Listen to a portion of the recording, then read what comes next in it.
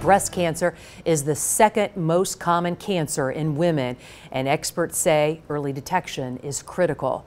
To measure an individual patient's risk of developing cancer, there are many tools that can help. Surveys online can be done at home or in a doctor's office. The questions circulate or calculate risk based on age, family, history of breast cancer, or other factors that might indicate cancer causing genetic mutations.